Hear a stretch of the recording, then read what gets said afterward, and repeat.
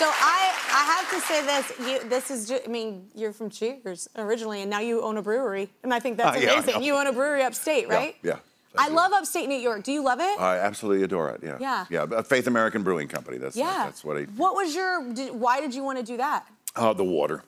Yeah. It's uh, it's I've had this property up there uh, for 26 years. Yeah. And uh, I'd walk the trails and hike and stuff and see the water and think, gosh, we got to do something with this. It used to be a really, really, uh, you know, successful place, prosperous place. There was a dairy farm and a, a big cauliflower farm, the largest cauliflower farm on the East Coast for years. Wow. And uh, it, it, the, old old folks that come from that town say, "Oh yeah, I used to pack uh, cauliflower punnets up there at uh, you know your old uh, place." And they go, "Yeah, okay."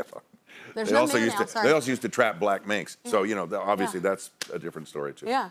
Uh, in any case, um, the beer seemed like the natural thing, and my wife actually suggested the beer as well, and uh, Yeah. we, we go through a big battle She's about that. She's got great ideas. Yeah, she said she said, Karaoke, alcohol, You I'm did the beer into her." because you know because I said so, and I said I know I never thought of it before. I like her already. yeah.